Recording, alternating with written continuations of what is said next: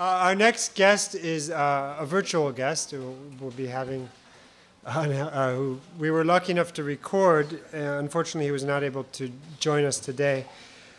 Uh, this is Professor Robert Rosner, who is on the faculty of the Department of Astronomy, Astrophysics, and Physics at the University of Chicago.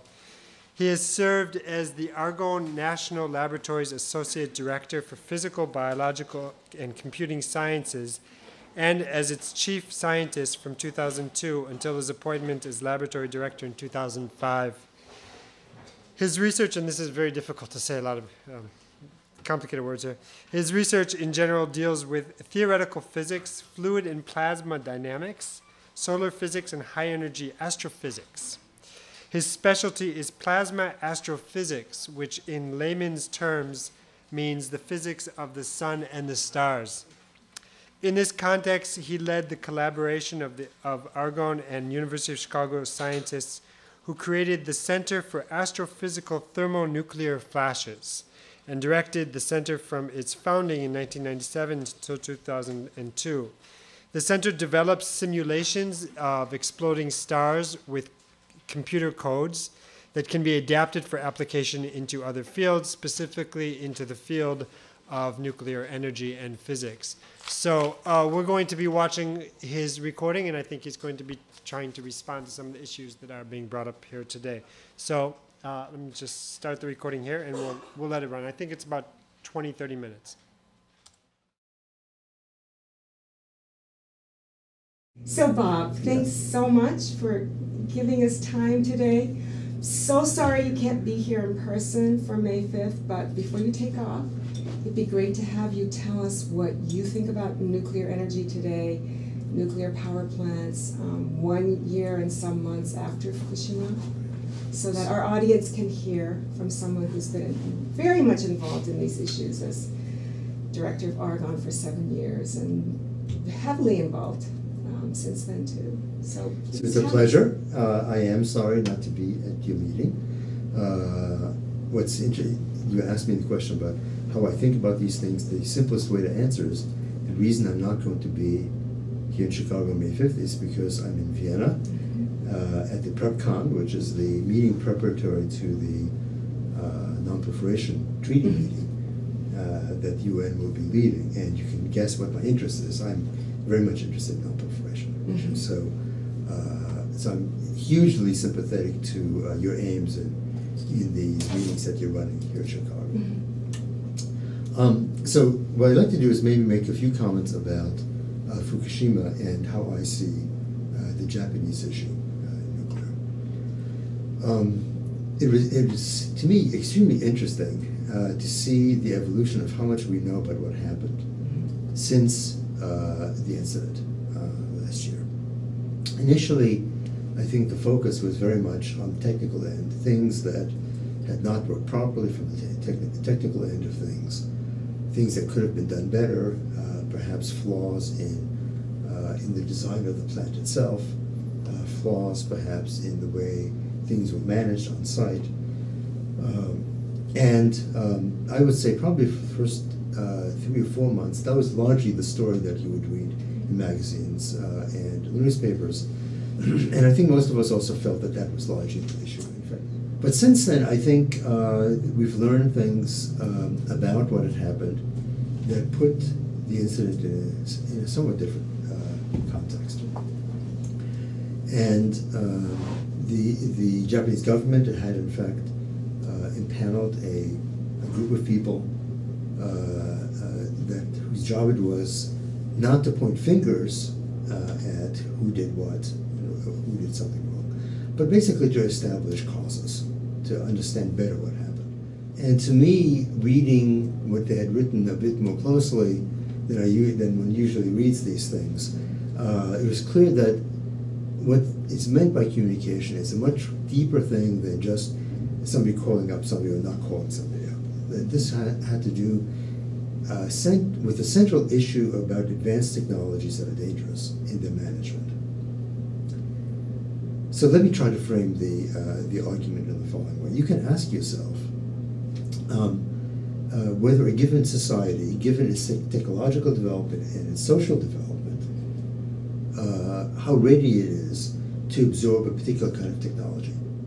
Now, in some cases, and nuclear uh, power is one of them, uh, the issue of safety and security go well beyond just the question of whether or not you feel secure on a plane. In fact, the uh, Carnegie Foundation for Peace has been uh, uh, putting together a plan to ask the vendors of nuclear plants, so the folks that build them, to sign a compact, and I believe a very large number of the existing vendors have signed the compact, which in short says that uh, these companies pledge not to sell a nuclear plant to a country in which the IAEA has basically said they're not quite ready for it. The reasons that are given, the criteria that are given for readiness, are largely technical and technological. What's not said is what about the culture itself? And this is where we come back and circle back to Fukushima. One of the examples that's given in the report about lack of communication has to do with an aspect of the communication between the what you might call the first responders, the people that are on the ground at the plant at the time of the accident, and the people that immediately went there once the incident occurred, and the management of TEPCO, the utility back in Tokyo. And what was that lack of communication? Well, it had to do with the fact that there is a general maxim about safe operations of complex and dangerous systems, which is that the first responders are in charge, and that there is nothing placed, no obstacles are placed to their judgment of what needs to be done right then and there. Why is that? Well, because presumably they're trained and they know the facts on the ground and they are trained to respond to those. What happened at Fukushima is that the first responders did understand that there was a problem at the plant which had some serious potential downsides. In particular, they wanted to vent the pressure vessels, and they were told by management in Tokyo not to vent. That the folks on site were correct because the venting would have released the hydrogen, and the lack of venting was clearly the proximate cause of the explosions, the eventual hydrogen explosions. One can speculate that the reason that TEPCO officials did not want to vent was the natural resistance of any management organization, especially in Japan, to do something that releases some degree of radioactive materials into the, into the air, into the environment. This is a particular issue, I think, in Japan. But what actually happened was that uh, the countermanding of the venting right early on, in fact, in the end, caused a release that was much, much greater than anything that would have been released if they had simply vented. Now, what does this have to do with culture? Well, it has to do very much, in my mind, with the culture that's prevalent in Japanese corporations. Ask oneself to what extent in a Japanese company uh, is the flow of information and direction of instruction of what to do top down and bottom up? To what extent are individuals that are in the management chain, that are, if you like, at the bottom of the management chain, able, on the basis of facts that they are basically argue and countermand things that they're being told by senior management. So my view about nuclear power is I have to be favor, in favor of it on technological grounds. But I think uh, when it's deployed, the level of care that you have to take on the organizational level is not like you do with coal or gas or any other kind of technologies. It is special. Now, one of the issues that always comes up when we discuss nuclear power is uh, nuclear power has an albatross hanging around its neck, which is again unavoidable, which is right from the beginning it's been technology that's been intimately tied to weapons.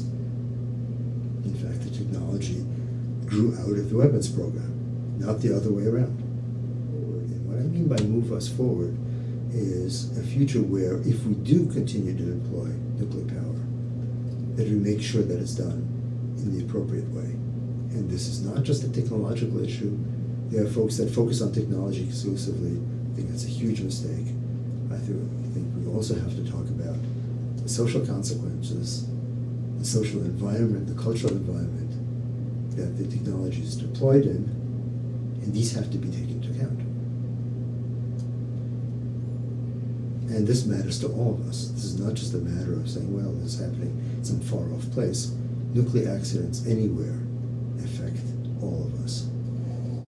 Um, so I think uh, one of the things that uh, that is sort of technological truth about the world is that, uh, which is also a cultural truth, I think, they're tied together, is that um, uh, of the uh, six, seven billion people on this planet, uh, just about everybody would like to achieve a standard of living, a quality of life that's comparable to what exists in Western Europe, in the United States, North America in general, in uh, Japan, Korea, Taiwan, and so on. That is a standard of living which is, I would say, let's call it comfortably middle class, that kind of existence, what we're used to. And um, probably the, the societies that are most prominent in going this direction uh, are uh, in Asia in the first instance. So, of course, India and China come to mind. But in South America, uh, countries like Brazil. Um, and um, an essential element of getting to that place that they want to go to is the use of energy. So one of the things that is that is already happening, we're seeing it, is a sharp increase in the consumption of fossil fuels. So the question is, can this planet actually sustain a world in which we are burning fossil fuels not only at the current rate, but clearly at rates that are going to be far in excess of what's going on today. And the question is, what alternatives do we have? For example, could we count on the renewables such as solar and wind? Now, in order for solar and wind to make a difference, a substantive difference in what we're talking about, not at the margins, you have to look at a problem that we have not been able to look yet, and that is the storage problem. It has to do with the intermittent nature of both wind and solar, and the fact that the fluctuations on the demand side, in, the, in this case, could not be easily matched by the utilities with the fluctuations on the supply side. You could do it if we had some way of building industrial scale storage facilities, batteries, flywheels, there are many, many ideas out there that are economic. Ultimately, we have to recognize the fact that in the energy field, economics hugely matters. And that you're not going to force countries to use technologies that will basically price them out of the economic markets. That's not, it's just not going to happen. So where does nuclear fit in? Well, nuclear technology, by and large, is technology that's actually quite well understood. We've been at it for 60 years. And one of the things that has happened over the last 20 years is that while there has been very little building going on, in the meanwhile, on the R&D side, there's been a lot of work that's been done in building new generation, new designs that are inherently much, much safer than the reactors, the designs that we've dealt with so far. They have all sorts of interesting features, including uh, passive safety, that is, you rely not on, on uh, uh, the workings of automated technology, but actually on just simple laws of physics that we are quite sure will work um, to basically stop uh, the run- runaway heating in a reactor. There are many such designs around, and for a variety of reasons, uh, um, it's been very they've been very slow to be adapted. The reactors that are now being considered uh, for uh, here in the United States, uh, for example, um, in Georgia, uh, these are reactors that are being built by Southern uh, utility in, in, that area. They're Westinghouse design, which have actually these. Uh, they are in this direction of passive safety. They have passive safety features. Reactors called the AP1000, and this is sort of the first generation of reactors where uh, the degree of safety is re- there is really substantial difference between them and what exists right now. So if you were to ask me, should we be building any reactors like the existing ones? My view is absolutely not. There's a lot of work that has to be done on the international sphere. First, in uh, going further than the IAEA has gone so far in dealing with the absorption of nuclear technology uh, by various kinds of countries. The IAEA currently is charged with uh, surety, that is, the securing of nuclear materials, and that has the, of course, the history of the Non-Proliferation Treaty behind it, and it's directly related to the non-proliferation issue. And the IAEA, in fact, has enforcement powers. It has reached back to the United Nations. IAEA does not have these enforcement powers on the safety side. The other thing that needs to be resolved on the international front is uh, the fuel cycle itself. One of the issues that is out there is that uh, to date we have not been successful. Now, we, I'm now talking about the world, not the US in particular, but we of the world, we have not been able to establish a procedure by which uh, spent nuclear fuel, so the stuff that comes out of reactors once the fuel is consumed, is then dealt with in a systematic fashion. But all of them have the common problem of what do you do with the waste? The waste, of course, is a problem because the waste contains material that can be chemically separated and made into bomb material. So it's fissile material, maybe it's plutonium. And that is a problem. there are various ways of dealing with the spent fuel. Right. They and there are fundamentally three things that you can do. Mm-hmm. Once through, which means it comes out and you deposit it and you forget it. Mm-hmm. Okay, that's called once through. There is a so-called MOX cycle, mixed yeah. oxide mm-hmm. cycle, which takes the output, pulls out the plutonium, reforms it into fuel again, and puts it once through again to the reactors. When you do that, the second time, you can no longer reprocess that material. You're stuck with it, and you have to put it in a repository. The reason that you might want to do that is that you do extract a bit more of the energy from the uranium. Okay, and the end result is really something that's basically inaccessible for weapons material. Mm-hmm. It's very difficult to make. Uh, once you produce uh, uh, a spent mixed oxide oxide fuel, you're basically stuck, and you have to put it in a repository. The third way is from the technical point of view, uh, I think physicists would uh, call the sweetest solution. Uh, the reason is you that's it's the route where you basically extract as much energy as potentially is available in the fuel. Um, so that that's a positive from the technical point of view.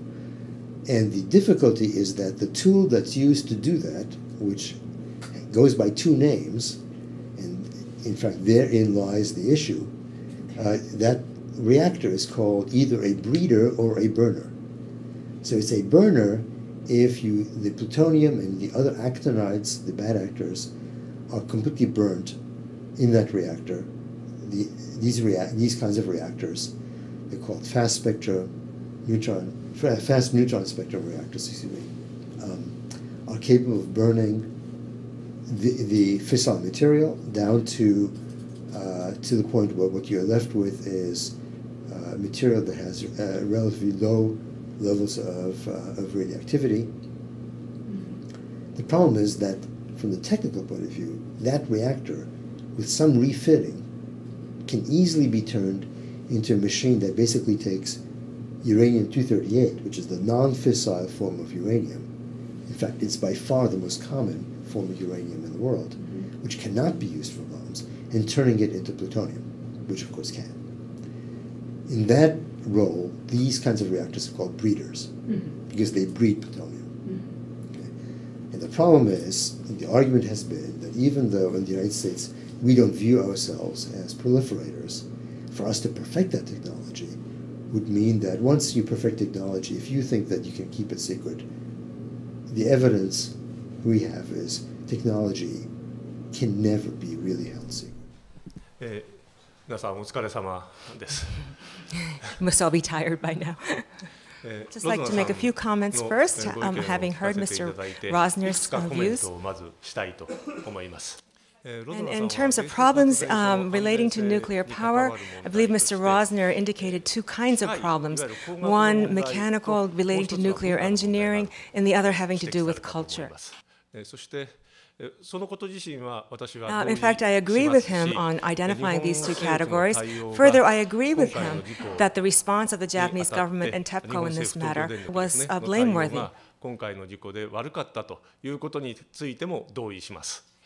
But if, if we're talking only about the mechanical engineering aspect, my impression is that Mr. Rosner feels that it can be safe, is can be safe, and I do not agree with that.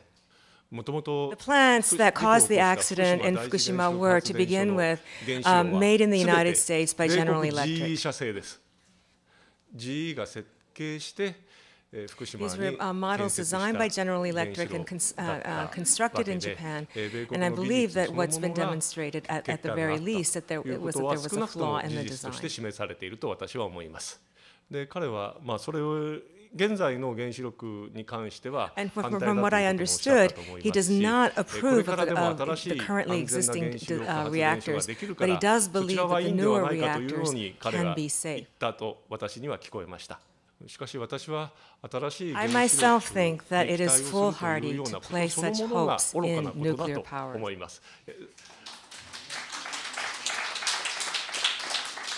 そのことを今から少し、like、聞いていただこう。ロドナさんは。Mr. Rosner was speaking on the presumption that the people in Asia and elsewhere would like to have a living standard uh, uh, approximate to those in, the places he named, and that that is and that implies the, need for greater energy. 思います。今ここに見ていただいている図は現在の世界で。so the horizontal axis shows the number of the population and the vertical, the energy consumption per capita in that given country. So that um, that spread that designates China shows the, the population that China uh, uh, represents in terms of the world, and, the, and next to it. Um, and, and, its height indicates the amount of energy consumed per capita in China. 例えば真ん中にチャイナというところがありますが、えーチャイナのお帯の幅が人口十数億人を示していますしこの帯の高さが中国の人たちが平均的に使っているエネルギーの量を示しています。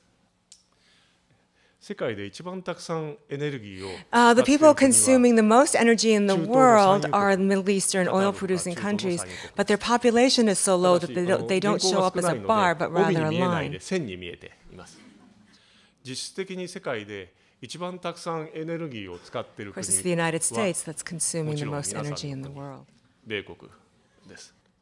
That purple line, uh, horizontal line indicates the world average of per capita consumption of energy. Americans are expending four to five times as much energy as the world average and consequently enjoying the comfortable lives that you all enjoy. 国です。ヨーロッパの国々もそうですし It's true え also ー of the 私が住ん European でいる countries 日 and 本 my とい own う国 country, も Japan, 世界 that we 平均の expend 2 two 倍 to three 3倍 times と the いうよう world な average エネルギ and ーを enjoy 使いなが uh, ら co- very 豊か comfortable な生 lives. 活を享受している国です 現在の世界を4つのグループに分けていくと。一番たくさんエネルギーを使っている4分の1のグループ。これがいわゆる自分の国を先進国という国々ですがその国々が世界全体のエネルギーの75%を使ってしまいます。残りの4分の3の人の、75%の人々が、25%の人々、25%の人々が、25% 25%の人々が、25% 25%の人々が、25% 25%の人々が、25% 25%の人々が、25% 25%の人々が、25% 25%の人々が、25% 25%何歳まで生きることができているのかということを示したのがこの図です。I've、uh, inputted data from about 100 countries into this graph, and on the left hand side, you see clustered the poor countries that have little access to energy.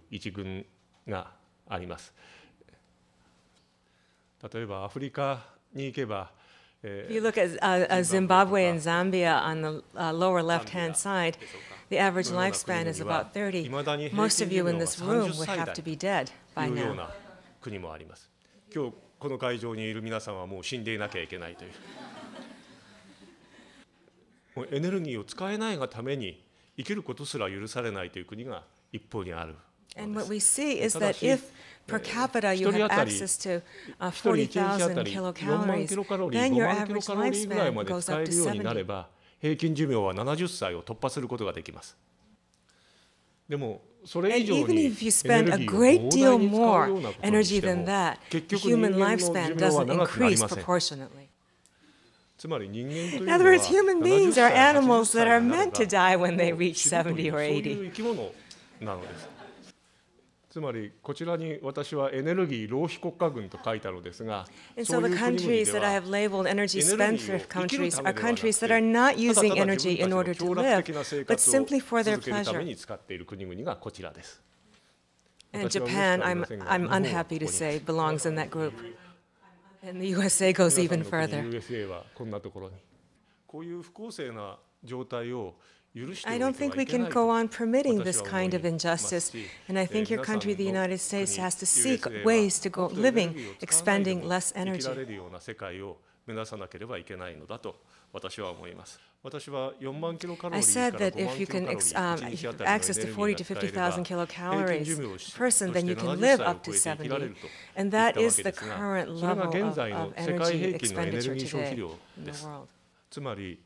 このような不均衡というのを是正してエネルギーを膨大に使っている国々の分を that part of energy consumed by that quarter and redistributed equally across that graph, then everyone could live to 70 and beyond.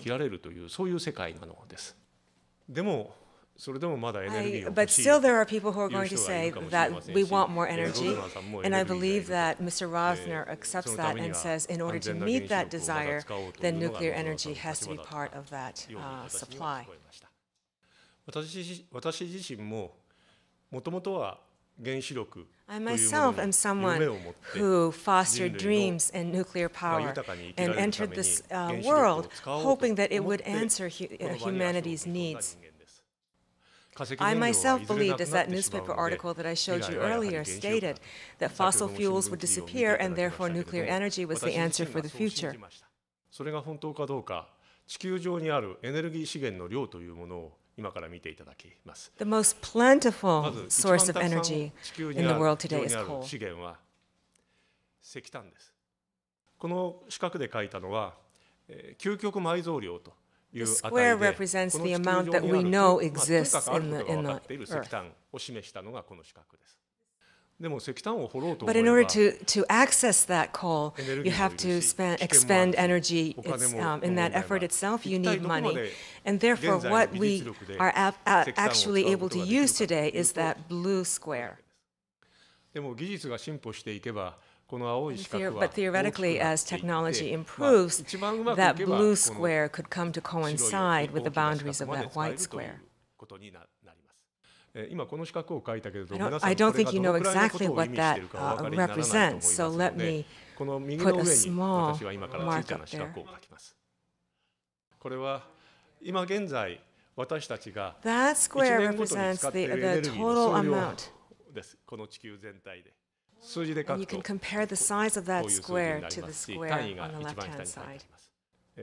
単位とかめんくさいので飛ばしていただいて結構ですが、えー今現在のエネルギー消費で、今現在の確認の倍増の中で60年、70年、歴史を支えることができます。もし中国で今現在の確認倍増量が800年というようなことになれば、800年分あります。次の資源は天然ガス。です。この天然ガスは30年ほど前まではほとんど資源として認められていませんでした。でも大変使いやすいということで最近ガス田が次々と発展されて今では石炭に次ぐ資源だということが分かってきました。My guess is that uh, outer white square is going to increase as more reserves of natural gas are found and will probably be comparable to those for uh, the reserves for coal. そうすると天然ガスだけでも人類のエネルギー消費数百年分を支えることができる量があるということです。その他エネルギー資源としては石油であるとかオイルシェールタールサンドというようなエネルギー資源も存在しています。これすべて化石燃料と呼ばれるものが今並べた資格です。この化石燃料がなくなってしまうから未来は原子力だと私は信じたし皆さんも今でも信じているかもしれないしロズナーさんも Many of you may think that way, and I believe I understood Mr. Rosner to be saying so too. Then what is the, the uh, amount of uranium available, which is the fuel for nuclear reactors? If you look at how small the supply is of uranium compared to the other sources, it is, it is really absurd to think that we put, we cast the future of humanity on such a, a limited supply. Eh, what I've written here, what I've represented here, is only uranium 235, the fissile kind of uranium. Many people, uh, experts, understand the limited uh, supply of uranium-235, and, uh, and, including Mr. Rosner, and therefore the idea, the hope is to those who put their hopes in nuclear energy now are now turning to the normally non-fissile form of uranium, U-238, and trying to convert it into plutonium. But plutonium, of course, was the material uh, in the Nagasaki bomb. It is extremely destructive, powerfully destructive. And if we were to produce huge quantities of that for the sake of energy, it's, it's uh, hopeless to think that we can preserve peace. And moreover, as long as whether we're using uranium or plutonium, as long as um, the process we're relying on is fission, then we are doomed to be producing those huge amounts of nuclear waste that we saw earlier. We have no way to detoxify that material, and we certainly don't even know how, where to dispose of it. I believe that we, we have no business generating waste that we, we don't know how to dispose of ourselves. And for that reason, I, I feel that we, should, we have no business dealing with nuclear energy. What I've indicated here in the large square is the amount of energy directed by the sun では、はい、ではどうすべきかということなのですけれども、今これ見ていただいたですが、ここに大きな資格を書きました。これは何かというと、太陽が1年ごとに地球にくれてるエネルギーなのです下に並べたこの四角はいずれにしてもこの地球という惑星が The energy sources um, at the bottom of that square are sources that have been accumulated over the course of the Earth's history of 46 billion years. And human beings are self centeredly trying to use it up ever so rapidly for their own purposes. Um, I think that the only thing we can rely on is, in the end, um, the energy that the sun provides us, and that what we need to be concentrating our energy on rather than harnessing our dreams to nuclear power is to see how we can harness solar energy without harming the environment. それを考えることこそ必要だと思います。ロズナーさんへのコメントはこれで終わりにします。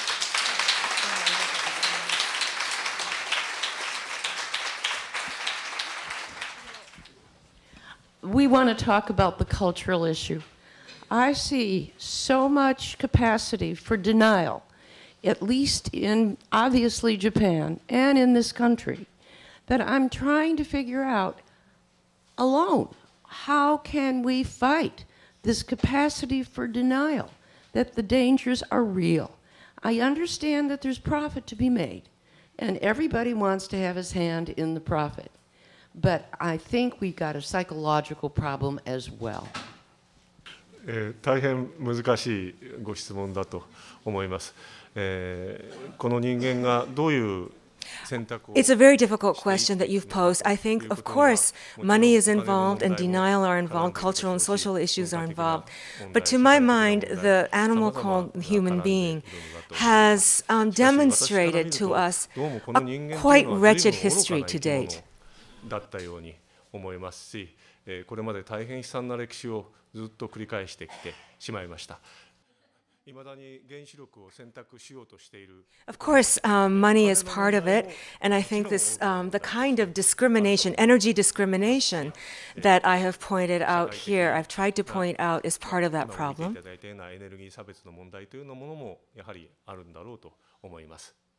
その上に、まあ、最後には文化的というのでしょうか。And finally, perhaps you would call this a cultural problem. But what, I, what seems to me to be the case is that human beings have yet to figure out how they ought to live. ということに私は問題があるのではないかと思います。えー、と日本の大学においての My question is about structure of nuclear science and technology education at higher education institutions. Um, do you observe any changes of movement by scholars, students, or scientists in Japan to redefine the responsibilities and safety of nuclear science technology?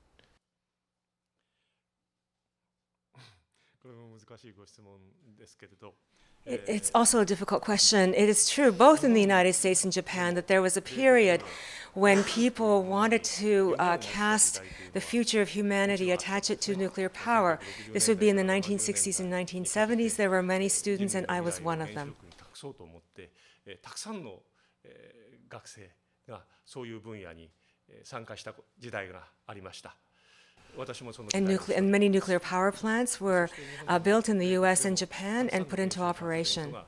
And, and as for the forces that led to the operation of these plants, of course, um, as we've heard earlier, since there was a, the intimate connection with nuclear weapons, it had to do with national policy. And, and clustering um, shortly after that are the power companies um, that are seeking profit.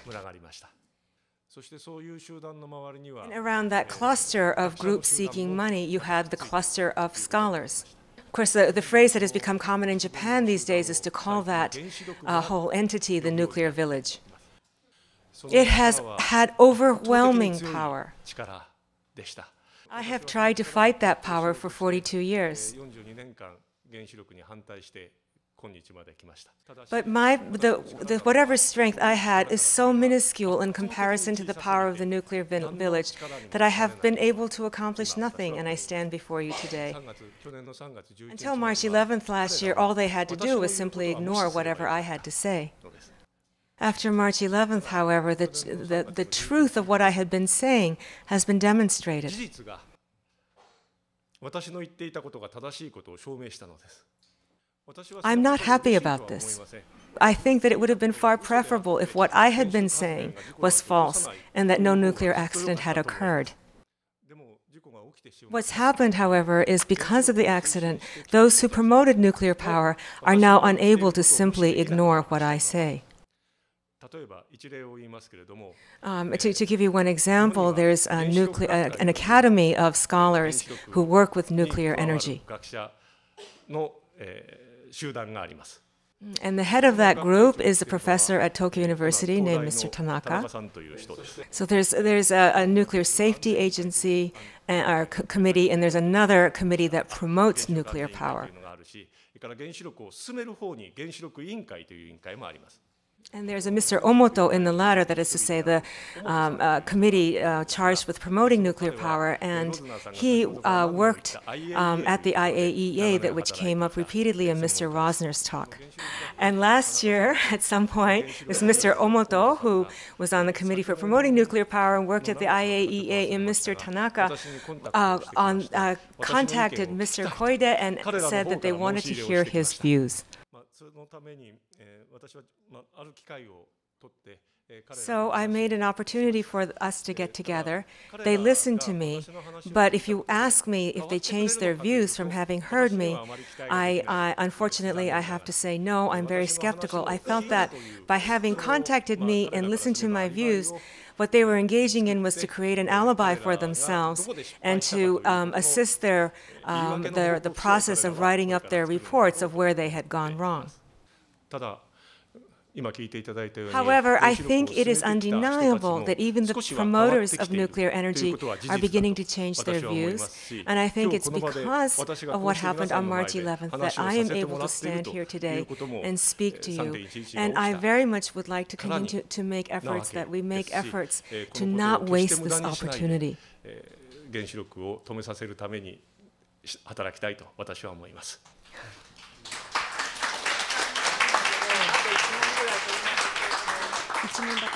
Just, just one question. One question.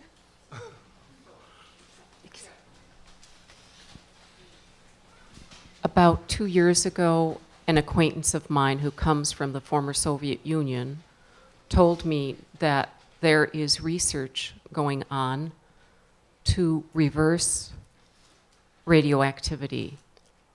Is anybody in Japan or elsewhere doing this that you know of? First of all, if you if you burn uranium or plutonium, you absolutely cannot avoid the production of, of, radioactive fissile products.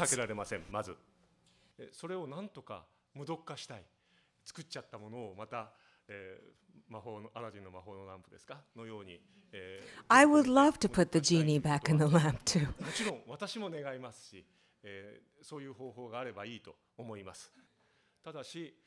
as we saw in the first slide, that the Chicago Pile started operating 70 years ago in 1942.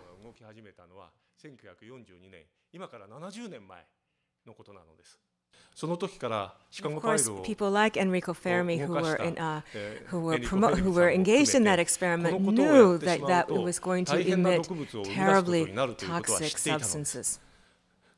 And that's the beginning of efforts to, to, uh, to see if you can't, in, in your terms, reverse the process. And that research has gone on for 70 years, and unfortunately, the, the solution has yet to be arrived at. And um, I, I'm sorry, as someone who's been um, um, handling these materials as a researcher myself, I hold myself responsible too. 皆さんにも何がしかの責任があると思います。そのため、I have a very strong desire to, um, to extinguish this poisonous, uh, dangerous substance that I am partially responsible for with my generation. ただし70年間研究を続けてきて見えなかったというそういう方法を簡単に見つけ出すことはなかなか難しいだろうと 私は思います。残念ながら。If I can add uh, something to that, uh, there's uh, no way we can uh, reverse the uh, radiation, but uh, there are lots of research right now going on with reversing some of the effect on the human body, especially with um, this effort of NASA to go to other planets. because during that time, the, the astronauts are getting lots of radiation, which has the same effect. And so there's a lots of uh, researches going on to try to, to reverse some of the effect of uh, radiation on human body. Um, it is true that there's, a, there's been a great deal of research going on how to, on, on mitigating the effects of radiation on the human body, but the power of radiation over um, the organism is so overwhelming that there is no way that the danger can be reduced to zero. I think that the best solution is to stop emitting radioactive substances to stop producing them. わけですがわけですし何がしかの成果が私はあのこれからも出てくるだろうと思いますただし放射線は生命体に対して圧倒的に大きな危険を持ったものですですから何がしか緩和できたとしても危険がゼロになるなんてことは決してありませんし、えー、一番いいことは放射線を出すようなものはできるだけ使わないということが私はいいと思います。